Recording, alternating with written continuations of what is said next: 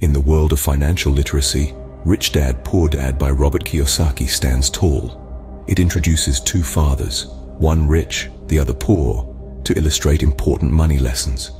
The poor dad, a well-educated man, believed in traditional education and a steady job. The rich dad, with less formal education, understood assets and liabilities. The book emphasizes investing in assets, not liabilities. Assets like real estate, stocks and bonds generate income. Liabilities like cars and houses consume income. The rich dad advised, don't work for money, make money work for you. Key takeaway, financial education is crucial.